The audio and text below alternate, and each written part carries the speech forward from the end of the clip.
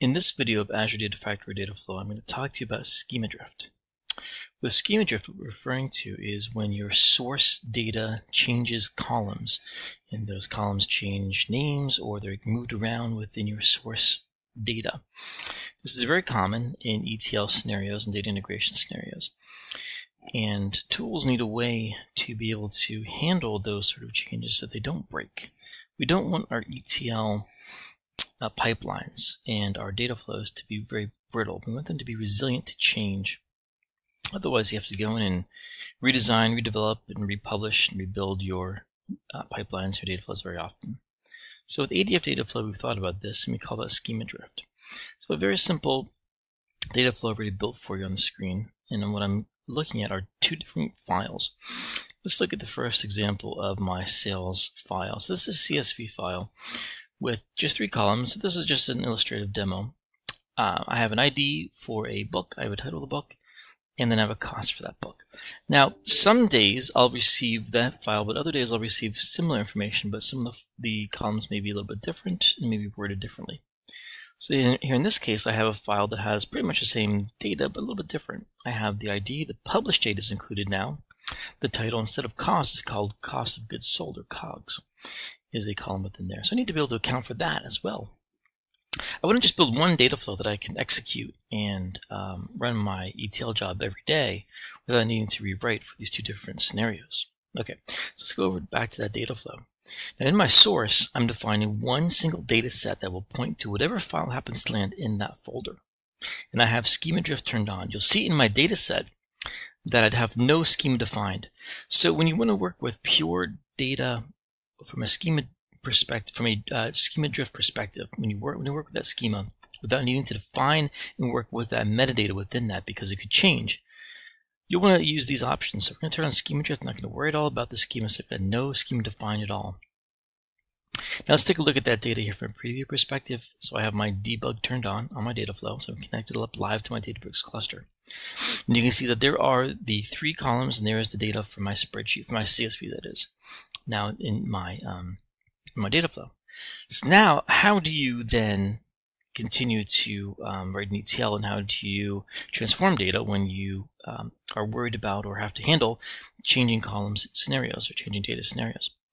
So in that case, what you do is you write um, your transforms this way. So now I have a derived column as my next transform. What I want to do is I want to add the sales tax to that uh, cost column because I don't have the sales tax accounted for in my sales data. So instead of writing a typical uh, transform column within derived column here in Dataflow, I'm going to select add column pattern. When I do that, the first thing that I have to do within Dataflow is I have to identify either the name or the type, so data type or name, from the incoming data so that ADF can identify which columns it is that you want to transform. So in this case, I know that I have two different columns that I can receive the same data in either COGS or cost. So either one of those matches. Now I'm accounting for the different changing columns. There's many different ways that you could form this as well. You could use regular expression here.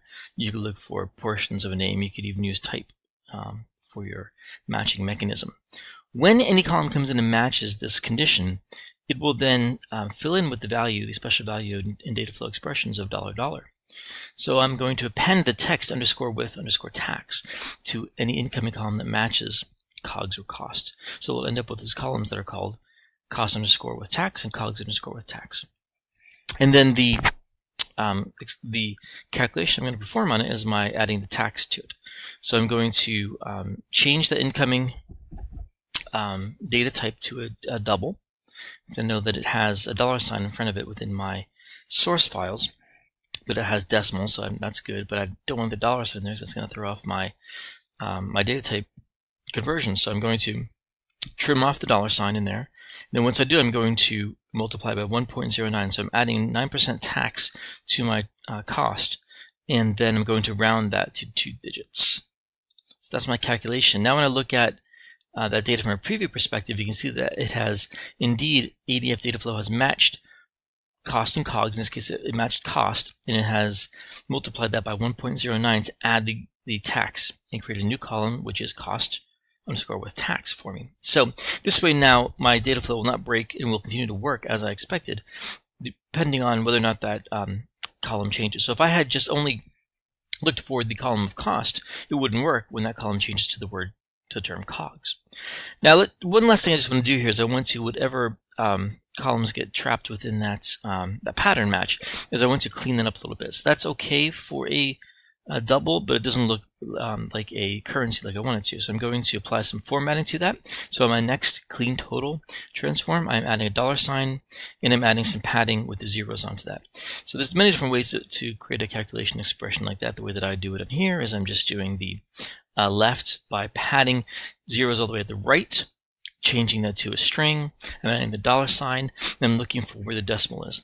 So this way, when I say, once I locate the decimal, give me the next couple of spaces after that, and then give me the left to the very end. So that is how I format that nicely, and then I sink. So when I sink, I'm just going to auto map, because again, I don't know what the fields are going to say, so I don't want to physically map um, columns. Now, this works fine when I have the file of cost in there. Let's um, uh, everything. So every, everything in my data flow and pipeline can stay exactly the same. Let's now swap out that file of that sales file from sales to that other version, uh, which has cogs in it, and that I have is labeled as uh, sales2.csv. So what I'll do is I have that here in my sample data. I have it called as schema drift um, 2. So we'll copy that, back to sample data, we'll take away the current sales uh, CSV and replace it with the one that's going to come in. And in this case, this new one that's going to come in is going to have a uh, COGS for that cost, which is going to be a little bit different. And you'll see that everything is going to work just fine in my data flow. Go for my source, I'll go over to my first derived column, and you'll see that indeed COGS is coming in. There's my publish date, but everything works just fine. Uh, that my matching pattern has caught cogs as well and added the with text to it, give me the same calculation, because my next drive column simply looks for any column that has with tax in it. That should work just fine as well. And indeed, there we go. So I matched that. So that's how you can do uh, pattern matching and schema drift um, by setting that on the on your source. Then your transformations, you use the pattern matching, and then the sink, you do an auto map, and that way, uh, as things change, your um, data flow just fine. Thanks for watching.